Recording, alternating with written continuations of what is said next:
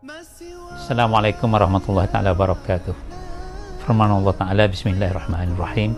Ya ayyuhallazina amanu kutiba alaikumus syiyam kama kutiba alal ladzina min qablikum la'allakum tattaqun. Wahai orang-orang yang beriman, difardukan ke atas kamu berpuasa sebagaimana difardukan ke atas orang-orang yang terdahulu daripada kamu. Semoga kamu bertakwa kepada Allah Subhanahu wa taala.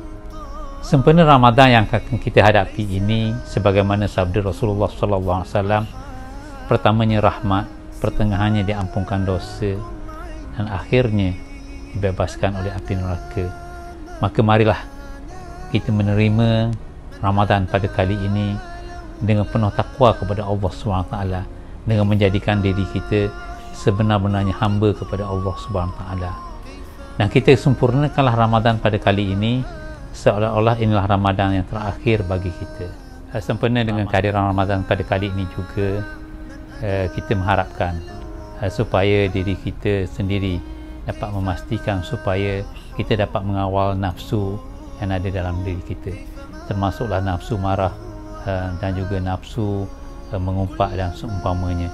Jadi saya peringatkanlah kepada diri saya dan seluruh warga Kemaman supaya kita hindari perkara-perkara yang sedemikian supaya Ramadan pada kali ini benar-benar memberi keinsafan uh, kepada kita dan menjadi kita manusia yang benar-benar uh, mengabdikan diri kepada Allah Subhanahu taala. Selamat menyambut Ramadan kepada seluruh rakyat negeri Terengganu khususnya warga Kemaman.